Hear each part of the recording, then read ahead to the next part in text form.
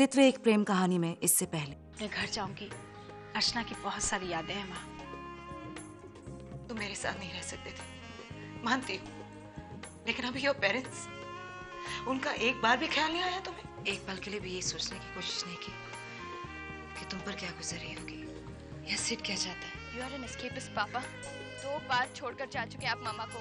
इस बार तो यकीन कर सकते हैं ना आप पर। क्या नहीं?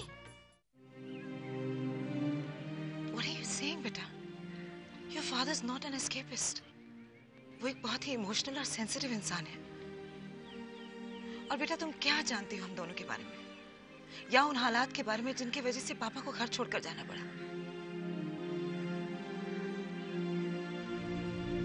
प्लीज़ बेटा, इस तरह कमेंट करके don't hurt your father's feelings and don't you ever call him an escapist again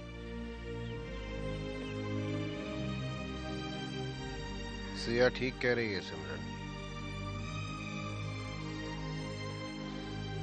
ठीक कह रही सिया क्या किया है मैंने आज तक? अपनी जिम्मेदारियों से भागता ही रहा हूँ। पहले तुम्हें रास्ता को छोड़कर भाग गया, फिर गुड़िया को तुम्हारे पास छोड़कर भाग गया। खुद ही देखो, इस समय इस उम्र में मेरे माँ बाप को सबसे ज़्यादा ज़रूरत मेरी होगी, मैं हूँ उनके पास। नहीं हूँ। She is right she is absolutely right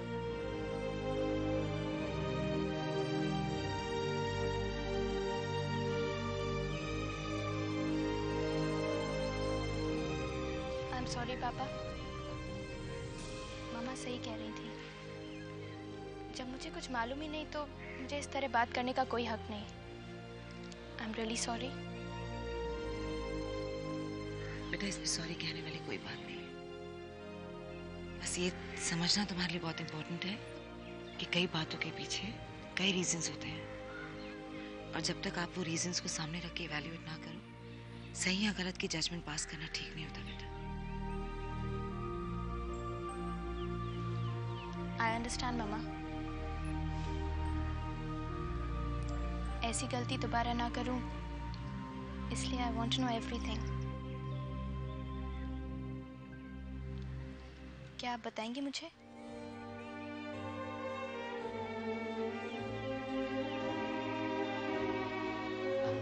मेरा मतलब है, अगर आप चाहें तो it's completely up to you मैं बताऊँगी बेटा। तुमसे कोई बात छुपाऊं ऐसी कोई बात है ही नहीं और ना ही कोई वजह।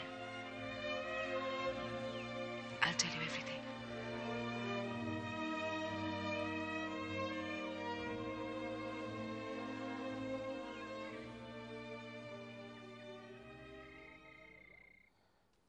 बस अब सिमरन जल्दी लौट आए।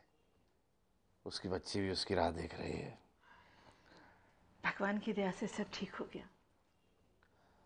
वैसे सिमरन की ज़िंदगी ने भी कितनी करवटें ली हैं। नानू! अरे नानू आप आ गए?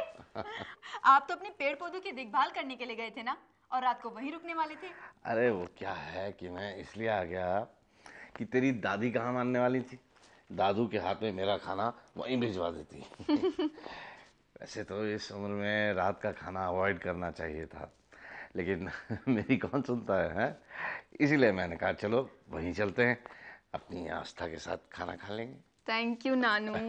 वो तो अच्छा हुआ मैं अपनी फ्रेंड के यहाँ नहीं रुकी डिनर के लिए। आप लोग मेरा इंतज़ार कर रहे थे ना? हम्म, अच्छा दादी बहुत भूख लगी है। लेट्स हैव डिनर हाँ चल बेटा।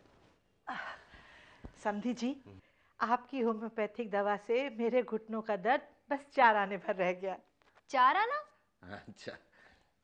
अरे चार आना का मतलब है कि घुटनों का जो दर्द है वो 25 परसेंट रह गया है।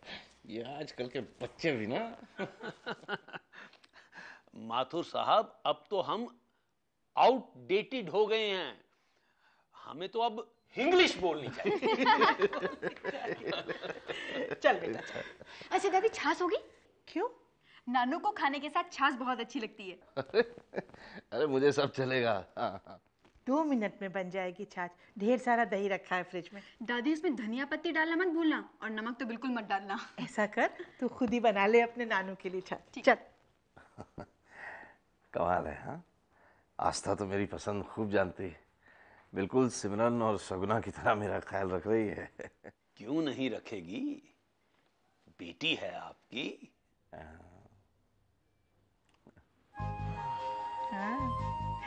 अभी इसकी उंगलियाँ देखी हैं तुमने? हम्म। बिल्कुल तुम्हारी उंगलियों की तरह लॉन्ग एंड आर्टिस्टिक दिखाओ दिखाओ दिखाओ जरा। है ना? अरे बाप रे बाप। इतने दिनों बाद ढंग का खाना खाया बिल्कुल भूखों की तरह खाया इतने सालों के बाद तुम्हारे हाथ का खाना खाया। पुराने दिन याद आ गए सुगना थैंक यू साहब। आपने अभी तक मुझे कुछ नहीं बताया। क्या नहीं बताया तुम्हें? आप दोनों के बारे में ये फ़र्स्ट मीटिंग शादी कैसे हुई थी? It was a love marriage no बताइए ना। या it was a love marriage अब क्या बताना? कल कभी बात कर लेंगे इस बारे में। नहीं अब भी। I want to know everything right now बताइए ना। आपकी प्रेम कहानी? कहाँ से शुरू करूँ अभी? शुरू से शुरू कीजिए। पहले कहाँ मिले थे? That first meeting first meeting hmm. Hospital में? एक लड़का था। एक्सक्यूज मी एक स्मार्ट लड़का बैठा था। हाँ जो हॉस्पिटल में बैठा था कैमरा लिए बिना परमिशन के।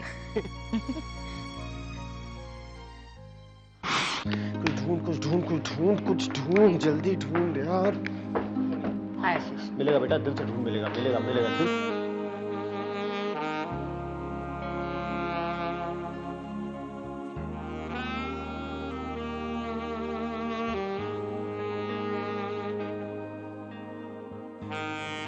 थैंक यू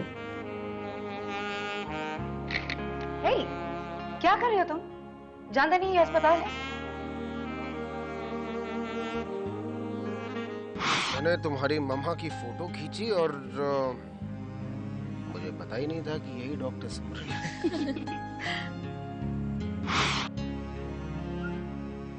ये अभी डॉक्टर सिमरन से मिलने आई हैं क्या? चलिए कहीं तो हमारी मंजिल एक हुई। बैठिए ना आप खड़ी क्यों? बैठिए बैठिए। अरे बैठिए आती होंगी अभी आप मिलिए डॉक्टर सिमरन से? क्यों? नहीं मैं नहीं मिला। लेकिन सुना बहुत है उनके बारे में। तुम्हारी मामा, मेरी बहन की डॉक्टर थी। आनंदी बुआ, वो नहीं रही बेटा। अब मैंने जब पहली बार इनकी फ़ोटो खींची तो मुझे इस बात का एहसास ही नहीं था कि यही डॉक्टर सिमरन है। बस फिर उसके बाद मैं इनसे मिलने के बहाने ढूंढा करता था। कभी पूरा का पूरा हॉस्पिटल में फूलों से भर देता था, कभी डांट खाता था। कभी पूरा दिन पूरी रात हॉस्पिटल के बाहर बैठा रहता था इनसे मिलने के लिए। और फिर एक दिन मैंने हिम्मत की और तुम्हारी मामा से कहा कि मुझे मिलना है आपसे। ऐसा ही हूँ मैम। आपको कोई प्रॉब्लम तो नहीं है? नहीं नॉट रियली आप उससे शादी करेंगे?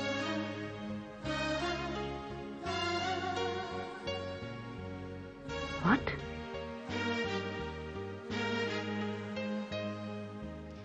ये रिश्ता सबको नागवारा था। लेकिन वो सिमरन से उम्र में बहुत छोटा है। दस साल। पूरे दस साल। जवानी का जोश है ना? इसलिए हो रही हैं बड़ी बड़ी बातें। दस साल के फ़र्क को जनरेशन गैप कहते हैं। वाह दस साल? आप दोनों को देखकर बिल्कुल नहीं लगता कि आप दोनों के बीच में दस साल का एज डिफरेंस है। वेल आज ये कहकर तुम मुझे कॉम्प्लीमेंट दे रही हो बेटा। क्यों अभी? I have maintain my self well haven't I एकदम माधुरी दीक्षित। ऐसा कुछ नहीं है। अगर अभी भी अपनी दाढ़ी निकाल दूँ तो तुम्हारी मामा से ज़्यादा यंग लगूँगा मैं। इतना भी नहीं। Seriously don't you think so look at me तो फिर आप अपनी दाढ़ी शेव क्यों नहीं कर लेते? अरे नहीं बेटा अब कहाँ उम्र नहीं रही उन सब चीज़ों की। No no. अब तो आपको दाढ़ी शेव करनी पड़ेगी। हम देखना चाहते हैं कि आप कितने यंग लग सकते हैं। है ना मामा? मैं रेजर लेके आती हूँ। अरे सुनो बैठो चुपचाप अब। अभी 21 साल की उम्र हो गई है लड़की की। अभी तक बच्चों की तरह बिल्कुल जिद करती है। बेबी आता बै, बैठो ना काय को मस्ती करती है? मेरे को सुनने देना बाई की लव स्टोरी और ये सब तो मेरे को मालूम नहीं। मैं ये लोग की स्टोरी में कभी आई जब तुम बाई के पेट में थी। है ना बाई? अच्छा मामा आप लोगों ने शादी कैसे की? शादी कैसे की? सिंपल सी शादी थी हमारी। It was just a court marriage. सिद्धांत के पापा मानस ने अटेंड की थी एज अ विटनेस और कोई नहीं आया था ना मेरे घर से ना इनके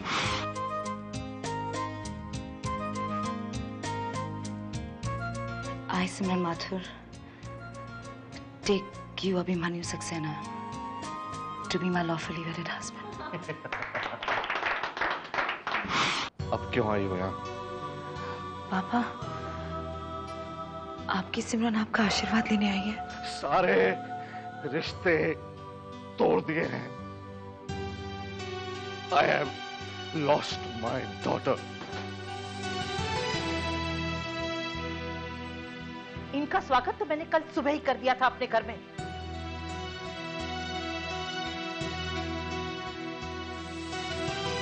पहले घाप देती हो और फिर मरहम लगाने की कोशिश भी करती हो। ओ, मैं तो भूल ही गई। डॉक्टर हो ना? वैसे इतनी पढ़ी लिखी हो तो मेरा फोटोग्राफर बेटा ही क्यों पसंद आया तुम्हें? आपका गुस्सा जायज़ है लेकिन आपसे किसी की कोशिश नहीं देखी जा रही। मैं भाभी की जगह होती ना तो एक पल नहीं बर्दाश्त करती ऐसा बर्ताव। लो मेरे बर्ताव का मुझे ही ताना दिया जा रहा है। अभी और मैं बहुत खुश थी बेटा। अभी के साथ रहकर मैंने जाना प्यार क्या होता है। लेकिन भगवान शायद हमारे प्यार का इम्तिहान ले रहे थे। अभी की मम्मी जी और पापा जी ने मुझे बहू मानने से इनकार कर दिया। मेरी लाख कोशिशों के बावजूद तुम्हारी बुआ आनंदी के पूरे सपोर्ट के बावजूद मैं हार गई। उनका दिल नहीं जीत पाई मैं। अभी क्या कह रहे हो तुम? सिमरन फैसला हो चुका है। पर अभी जरा सिमरन प्लीज़ फैसला हो चुका है तो हो चुका है। अब हम लोग इस घर में नहीं रहेंगे दैट्स इट लेकिन कह हूँ कुछ असर नहीं होगा आपके आशीर्वाद का। एक माँ का दिल तोड़ा इसने। जाओ कोई दुख नहीं मुझे तुम्हारे जाने का। बहुत खुश हूँ मैं। सुन रहे हो तुम लोग? बहुत खुश हूँ मैं। कोई दुख नहीं मुझे तुम्हारे जाने का।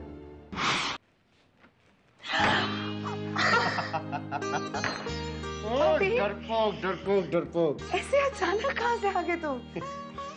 आराम से। So beautiful.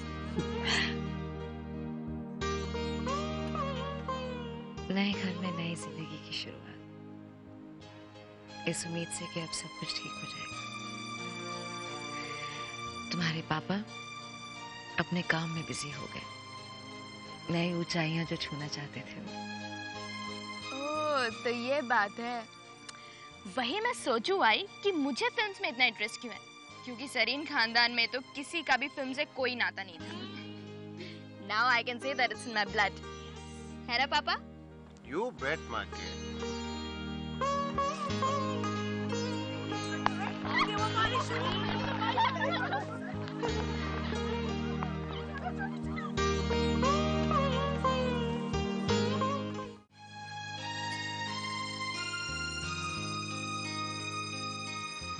जब मुझे पता चला कि मैं प्रेग्नेंट हूँ तो एक अजीब सी खुशी का एहसास था।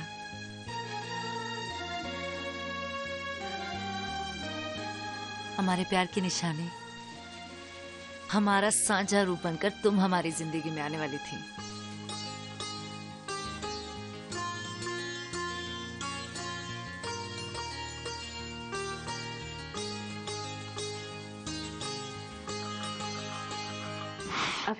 प्रेग्नेंट तो पापा और मैं माँ बनने वाली हूँ अभी। I'm so happy. सिमरन मैं ये बच्चा अभी नहीं चाहता।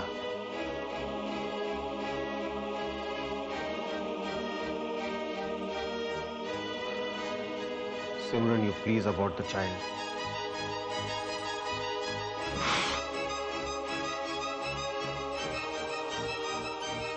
आपने मेरे लिए ऐसा कहा पापा? You don't want me your own child बच्चा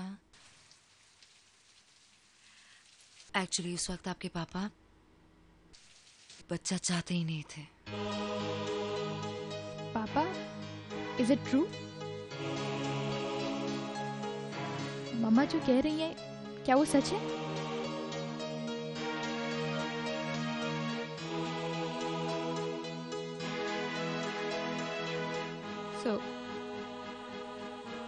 Was an unwanted child.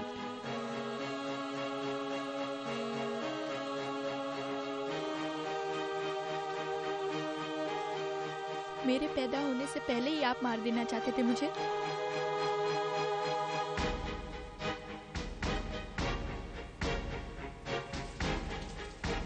मेरे आने की कोई खुशी भी नहीं थी ना आपको? आप लोग मुझे चाहते ही नहीं थे। इसीलिए मेरे खोने का कोई दुख भी नहीं हुआ होगा।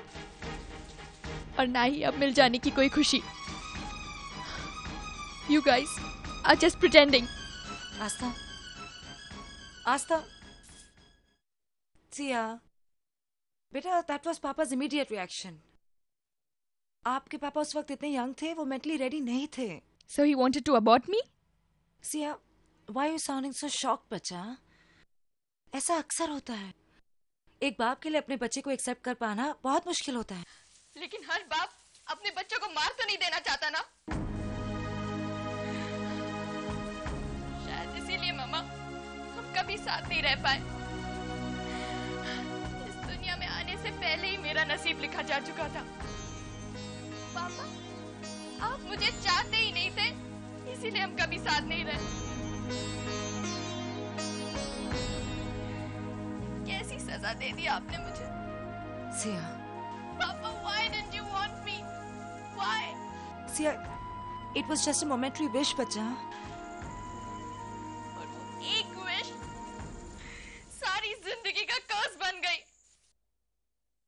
बिल्कुल बन गई बेटा। लेकिन वो कर्ज मेरे लिए बन गई।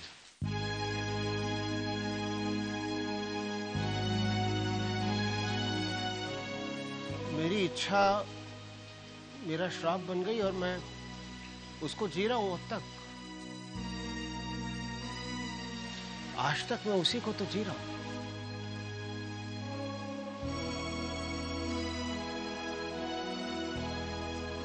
अकेला हूँ यहाँ पर, इस जगह पे।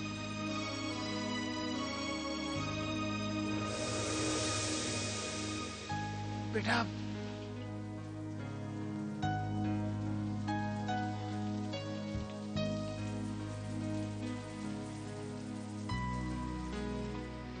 यहाँ रह रहा हूँ मैं। अकेला। इतने सालों से कोई है नहीं आसपास। बेटा ये ये श्राप ही तो है। Living that curse, my child.